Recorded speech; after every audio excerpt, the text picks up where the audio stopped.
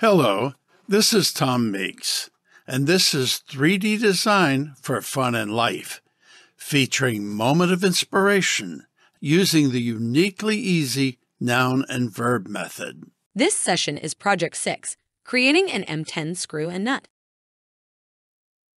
In this project, we will walk through the processes for creating an M10 cap screw and M10 nut to be printed with an FDM 3D printer.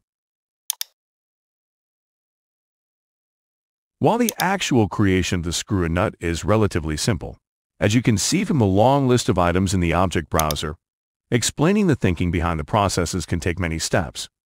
So, we have prepared the examples beforehand, and will simply walk through the steps in as orderly a manner as possible. As you can see, the steps are ordered using a letter prefix that helps us group the steps. In addition to the prefix letters, the numbering is a bit different than we usually use to better organize the presentation of the process. All of the entries beginning with the letter A have to do with the actual dimensions of an M10 screw and nut. Let's hide 100 and 200 and show A100, A101, and A102. These profiles reveal the three available thread styles for M10 screws. Each style is determined by the thread pitch, the pitch is the distance between each thread peak. From the left, we see that M10 screw threads can be extra fine with a pitch of 1 millimeter, fine with a pitch of 1.25 millimeters, and coarse having a thread pitch of 1.5 millimeters. We are going to print the coarse thread version. We'll hide the fine and extra fine profiles, leaving only A100. We'll show A111 so that we can see that the drawing represents the true dimensions of a manufactured M10 screw. We'll hide A100 and show 100. If we look closely, it's apparent that the finished screw design to be 3D printed is slightly smaller, horizontally, than the actual M10 specifications shown in blue. We will not have to make any adjustments to our design in the vertical direction. 3D printers are usually very accurate in replicating vertical dimensions. We'll hide the 100, the print version, to see the drawing of the actual specifications for the M10 screw and nut. Let's go over the important specifications of an M10 screw. The major diameter is the outside diameter of the threads. This is known as the crest of the threads. For an M10 screw, this needs to be 10 millimeters. The minor diameter is the inside diameter of the threads. This is known as the root of the threads. In the case of the coarse thread version, this is 8.05 millimeters. The angle of the thread wall is 30 degrees. And the pitch or distance between each crest for the coarse version is 1.5 millimeters. We'll show A120. We will be using this profile that we will sweep along the helix rail to cut the threads. We used our original specification drawing to create this profile. The walls are 30 degree slopes on both sides. The shape takes into account the height of the foot of an M10 thread, and the outside wall extends past the width of the screw shaft. But this next requirement is very important. The outside walls should not extend so that the distance between the peaks equals the pitch. As the profile traces around the helix path, we do not want it to overlap. The maximum height of the outside wall must be less than the pitch. In this case, 1.48 millimeters. This will leave a small gap between each turn. In the end, we want our screw to conform to these exact specifications after being printed. However, because of the way most consumer 3D printers work, we need to allow for the fact that the nozzle on our 3D printer is 0.4 millimeters wide. As it follows a path horizontally, it lays down filament about 0.2 millimeters on either side of its path. This means that to achieve the 10 millimeters width, our path must be reduced by 0.2 millimeters. All of the 3D print dimension conversions must account for this behavior. We see this by showing item C101 in our list. All of our subsequent design work will be built on the red drawing if we want our printed 3D screw to equal the specifications of the blue drawing.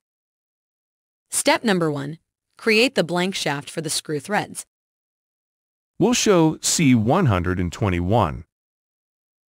We start by creating a blank shaft using center circle with the vertical option checked. The shaft will start below the top of the head of the screw. This is extruded to the top of the drawing as we see with item C120. It's helpful to chamfer the top of the screw shaft by 1 millimeter. Our goal is to cut threads into this shaft so that it looks like item C110. Step number two. Create a helix with a pitch of 1.5 millimeters to function as a rail for a cutting profile that can be used to cut screw threads.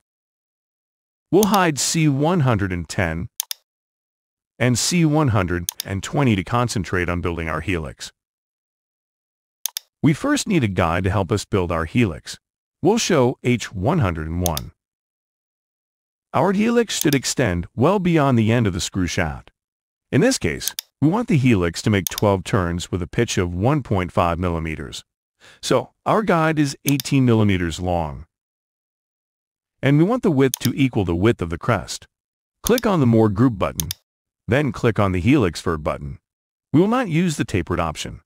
The prompt says pick start of axis. We'll use the bottom left corner of our guide. The prompt says pick end of axis, and we'll go up to the top left corner of the guide. The prompt changes to pick start radius, and we'll go to the bottom right corner of the guide. What we do next is determined by the thread type we want. In this case, we want to print the coarse thread version, and that means we must use a pitch of 1.5 millimeters. Notice that the number of turns becomes exactly 12, and the top of the helix ends at the top right corner of the guide. Step number three. Create the cutter profile to sweep along the helix rail. Let's hide A111 so that we can see better how the cutter is designed. To create the threads, we will use a cutting tool created by sweeping a profile shape around the helix. Let's show H102 the M10 cutter profile frames. We used our original specification drawing to create this profile. We'll select the H102 and click on Construct. Then click on the Sweep verb. We'll choose the helix as our rail and make sure to use the flat option and click Done. Our cutting tool is complete. Let's zoom in to see the gap between levels. The object we just created is exactly like item H400, so we'll delete it. We'll show C120, our blank screw shaft, and show H400, our helix cutting tool. We select C120 and then use Boolean diff with H400 to create our threads.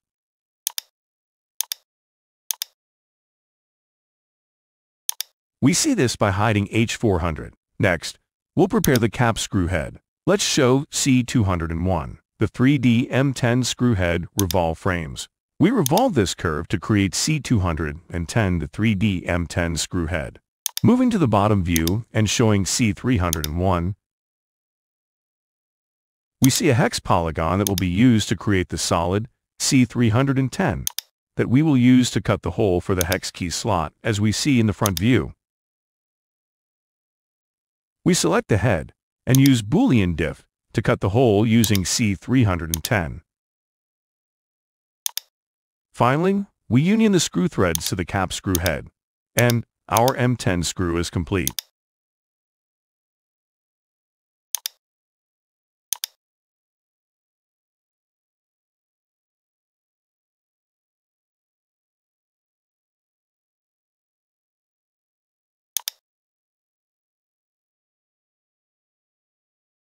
We now turn our attention to the creation of the M10 nut with coarse thread. In a perfect world, we would be able to create the nut threads by simply using Boolean diff and the screw. But the same 0.4 millimeters 3D printer nozzle factors that required us to offset our design creation apply to creating the nut as it did the screw. We must adjust the size of our screw threads if we are to use them to cut the threads of the nut using Boolean diff. We will show you a very quick way to use a copy of the 3D printed screw thread, which will be resized to cut threads into a nut.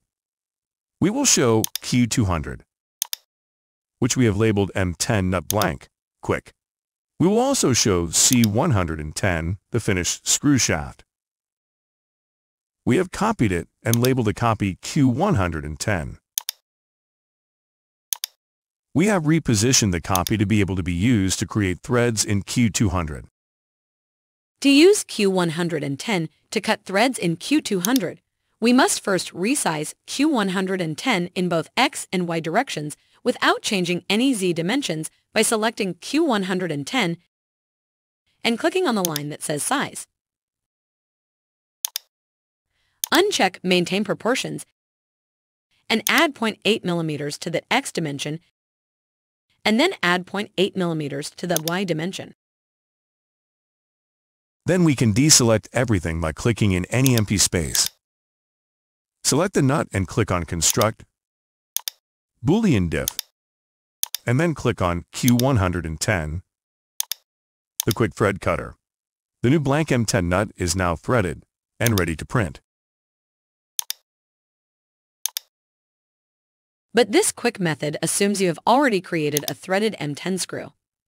We need a different method for creating the M10 nut threads if we do not have M10 screw threads already created. It's good to know both methods. Let's look at the real-world dimensions of the M10 nut by showing A200, the M10 nut coarse profile. We use this profile to create a drawing that documents the dimensions of an M10 nut. We'll explore these dimensions by showing A201. But first, we'll hide A200. Like the process of creating screw threads, we use this drawing to create our thread cutter profile. This time, however, there are some differences that should be noticed. First, we will be working from inside the helix and pointing outward. Secondly, the back wall height is limited to 1.48 millimeters as before, but it is extended toward the center of the nut to a length of 2 millimeters. Now, let's look at the dimensions we must use if the 3D printed nut is to conform to the real-world dimensions by showing N101. Both inside and outside dimensions have been offset by 0.2 millimeters, as indicated by the red drawing. We'll hide A201. Show N111. And go to the bottom view. We extrude these frames to a height of 8 millimeters to create a blank nut.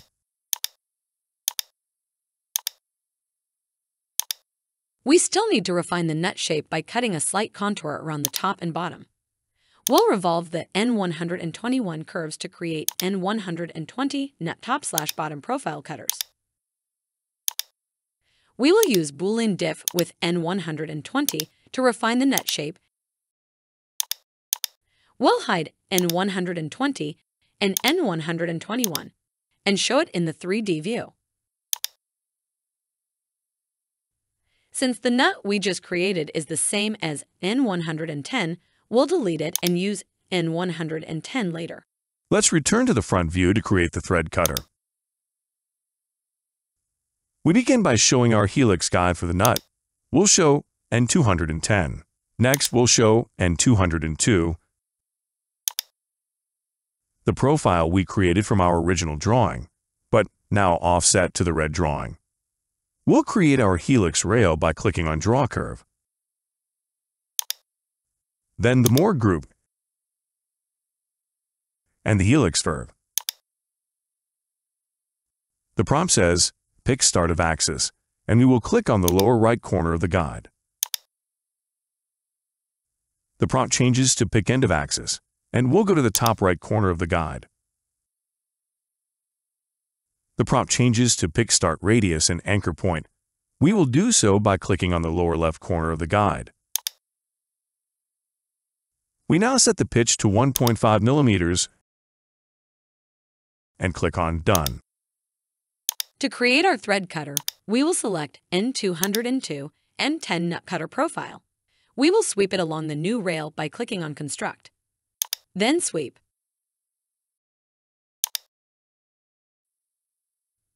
Then select the rail. And remember, be sure to use the flat option. The resulting 3D object is exactly like N200, the helix nut cutter. So we will delete it and show N200. To finalize the M10 nut, we show N110 and Boolean diff N200. Our M10 nut is now ready to be sent to a 3D printer. As we have seen, in Moment of Inspiration, there is almost always more than one way to create the objects we need. This is 3D Design for Fun and Life. 3D Design courseware based on Moment of Inspiration by Tom Meeks. In this session, we created a metric M10 screw and demonstrated two ways to create an M10 nut. The techniques used in this lesson can be used to create screws and nuts of any size and length. This includes the large screw threads found on wooden handles for mops and dusters, giving us the ability to create special tools benefiting from a long reach. And that is very cool.